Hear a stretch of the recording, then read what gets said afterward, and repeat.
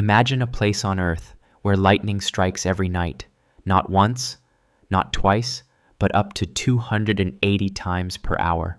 Welcome to Catatumbo, Venezuela, home to the world's only never ending lightning storm. Here, at the mouth of the Catatumbo River, a mysterious phenomenon happens.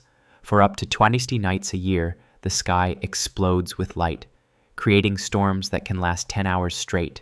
No thunder, no rainfall, just endless, silent lightning flashing across the sky. Scientists believe the storm is created by warm winds from the Caribbean colliding with cold mountain air, but no one fully understands why it's so constant. The lightning is so bright, old sailors used it as a natural lighthouse. You could see it from 200 miles away. Some nights, the sky flashes over 20,000 times, making Catatumbo the lightning capital of the world, a place where the night sky looks like a broken strobe light, a natural wonder so strange, many people don't believe it's real, but it is, and it might be Earth's most shocking weather mystery.